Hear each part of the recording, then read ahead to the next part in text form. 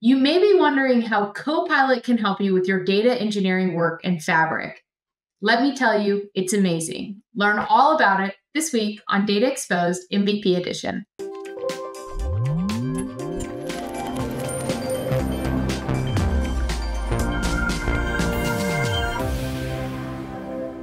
Hi, I'm Anna Hoffman, and welcome to this episode of Data Exposed MVP Edition. Today, I'm joined by Andy Cutler. Andy, thanks so much for joining us today. Can you kick us off by telling us a little bit about what you do?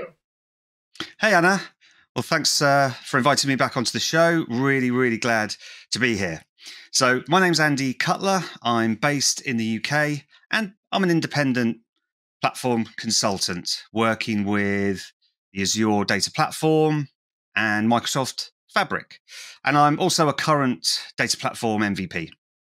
Awesome. Cool. Well, you're exactly the right person to talk to today because we're going to be talking about data engineering in Fabric uh, using Copilot. So uh, I understand you're a big expert in this space, or maybe you've been leveraging Copilot a lot in this space. Uh, so I'd love to hand it over to you and kind of understand like what are you seeing Copilot uh, being useful for for data engineering. And then like let's take a look at see and see you know what it's like. Yes. Well so when obviously this revolution of you know large language models appeared with ChatGPT obviously we've got OpenAI we've got the integration of this feature called copilot throughout well microsoft products. In the world of fabric there's several co-pilots available. So Fabric is Microsoft's end-to-end SaaS software as a service data platform where you can create an entire data platform and integrated within Fabric is Copilot. I'm specializing in the data engineering side of Copilot because I'm a bit of a lightweight Spark and Python developer. So I'm really interested in how Copilot can help me analyze data and work with data within Fabric. So, what I'm going to show is the documentation, right? So, this is a great place to go for all of the Fabric Copilot documentation. Now, I'm just going to cover the data engineering aspect of Copilot today, but there's Copilot within Fabric Data wow. Factory, within the real time intelligence, coming soon, the warehouse experience, and also Power BI. So definitely check out the documentation here. Now, to get started with Copilot, we do have to enable it within Fabric. So basically, within my tenant, I'm going to go into my admin portal. So you do need to either have admin rights or be friends with the Fabric admin. so we're going to scroll down here. Basically, say I've got Copilot and Azure OpenAI service. So I've got enabled for users within the business. I also have this second option enabled as well. We might come on to that a little bit later. Awesome. So now and I've got. One question for you as you're here, probably we're going to get to it, but like, uh, are there any specific requirements from a licensing or like SKU perspective that I need to have to even see this in my in my Fabric site? Yes, there are. Yes, because an ultimately Copilot is running on GPUs, you've got a minimum Fabric SKU level of an F64. If you already have an existing Power BI premium SKU like a P1, you can use that as well. Unfortunately, you won't be able to use Copilot with lesser fabric SKUs, so an F32, so on and so forth. You won't be able to use it with the fabric trial as well. So I've seen a few people asking the questions as well. So, yes, are some licensing requirements there. Got it. Okay. Good to know. Okay. So let's assume I got all this set up. I got the right SKU. I'm I'm ready to go. Now what? so now what we can do is we could jump into our Fabric workspace. I've already got a notebook that I've created. So I'm just going to jump in to my notebook experience within a Fabric workspace. I have connected this notebook to a lakehouse. And essentially, I just have a couple of tables in my lakehouse. So I've already installed the Copilot library to work with Copilot within my notebook. All I can do is in that top right hand corner, I've got the Copilot button. And of course, you know Copilot's working for you because that button's going to be enabled. But if I click on Copilot, I'm going to get the tab on the right hand side, get started. Now, this is a quite a common interface for Copilot across all the different experiences. So I'm just going to load data. So I'm going to click load data from an existing prompt. And then in this bottom right hand corner, I'm just going to say, well, yeah, let's uh, let's have a look at the data in this data frame. So I'm going to load the data from that table so I can analyze it. And what Copilot is going to do is generate the code for me to do that. So I'm just going to scroll down here, open up a code cell, and I could just insert the code. Oh, that's a handy button. And all it's going to do, it's just going to insert into the chat GP, uh, the um, Copilot, well, the notebook, this code that I can run. But what I can do is I can then analyze the data that's in that data frame. So actually, what I want to do is I want to ask it a bit more of a, a better question. So I want to load the Lakehouse table raw web telemetry small into a data frame and count the rows. So now it's just going to run through, generate that code for me. As it says, working on it because it's uh, going away and crunching. And yep, I can insert that code into my data frame or into the notebook, click run, wait for a few seconds, and it's going to run the generated PySpark or Python code against that lakehouse table without me having to actually write any code. And that's in that Copilot pane on the right hand side. Wow. So what I'm going to do is I'm just going to delete that. Now, that, and you might be thinking, Anna, that this Copilot pay, this area on the right hand side is quite constrained to work in. What we can do is in the notebook itself call oh. Copilot. So I'm just going to go up to the top, and I've already prepared some prompts because you really want to see me typing all of these prompts out. Okay. But what you can do is I can, yeah, look, load a raw web telemetry small table into a data frame. I'm using this code magic uh, prompt to enable me just to type what I want Copilot to do. So I'm just going to run this. And look, it's just going to generate the code for me. I'm going to close that window over there, run the code. I haven't written it. And I can use another magic keyword, which is the describe keyword.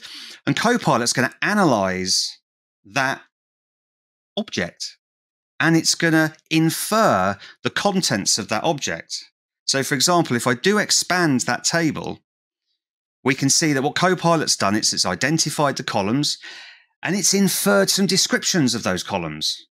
And it said, well, this data frame contains web telemetry data with information about user interactions. So I can get a flavor of what the data is without actually understanding the table itself.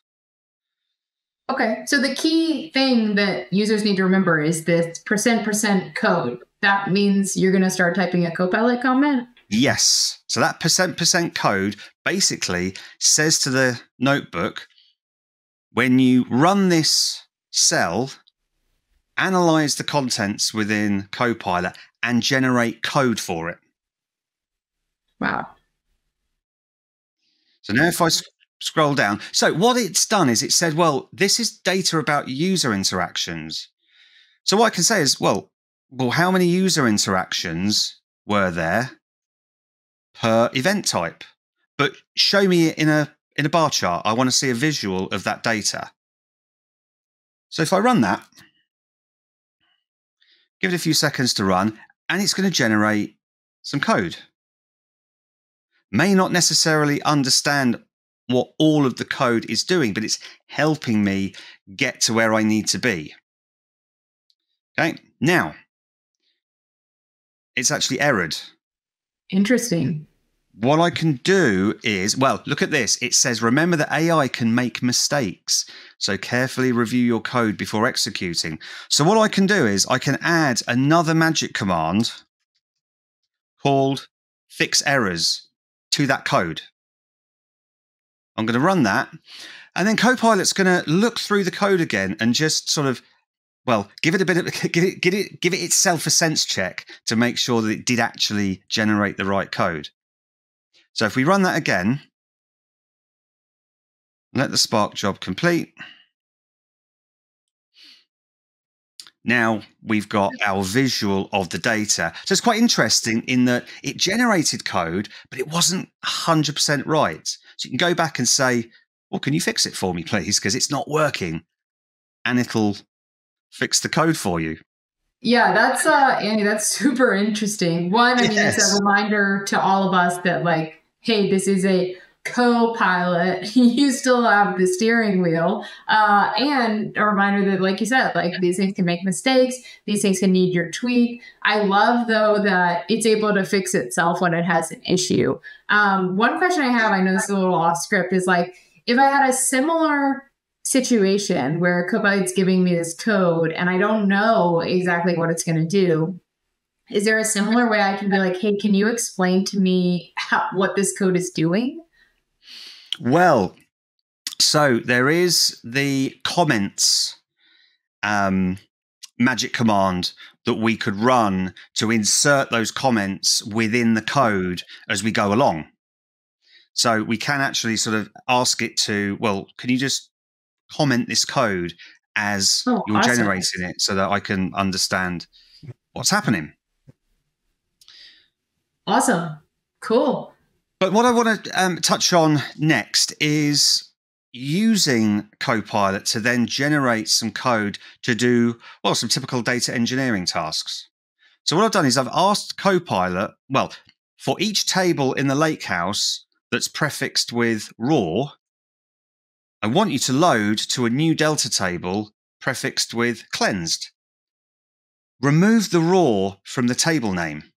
Right, so I'm being very descriptive with Copilot on what I want it to generate for me. So we'll generate the code. Or well, actually, I'll uh, run that one again, just for it to uh, to generate the code for me. Um, so it's just generated for like one table, actually. So what I'll do is I can just ask it a slightly different question, and I can say, well, loop through each table in the lakehouse prefixed with raw and load to a delta table. So let's run that. And it's generated some code for me. So I'm just going to get rid of the two bits of code that generated. And, well, let's run it. So I'm going to run that code. We've got a slight error with it again. So we can go and we can say, well, can you just have a look through that code and make sure that you've created it correctly? Now we can run it again. Still got an error with there. So we can ask Copilot again to fix errors. It's funny, you might think like, oh, asking it to fix errors, but if I compare it to the me troubleshooting all the errors, the time saved yes. is wow. I will run that again. And so now, you know, we've got the code running. If I refresh the tables on the left hand side, well, look, so now we can see it's generating those tables from the code. But like it said, it has that prefix before and says, remember that AI can make mistakes, so review the code before executing. And I think that's the crux. It's this is a co-pilot. This is not replacing what you're doing. This is helping you and augmenting what you're doing here. Awesome. Cool. Uh, we're about at time. Any final things, tips, and tricks you have for folks as they get started with data engineering using Copilot? Yeah, so we've heard all this talk about prompt engineering as well. So, one of the things to pay attention to in Copilot is it's stateful. So, when you're asking it questions, it's keeping the state as you go along. So, for example, and you know, we've run out of time to do it here, but I could ask it, well, can you wrap some error handling in there? Could you write to a log? It'll remember the code that it generated and augment it as we go along. So that's one of the tips. The other one is it is about the regions within Copilot as well. So if you're in America, then your data is going to be processed in America. So the prompts that you type. However, in other countries, that might actually have to go across boundaries. So, for example, I am in the UK. Copilot data is going to be processed in Europe in a different geographical location. So it is actually going to cross a boundary. Mm. Now, I've enabled that feature within the Fabric admin portal. So it's just to be aware of any GDPR or any data boundary issues that you may have.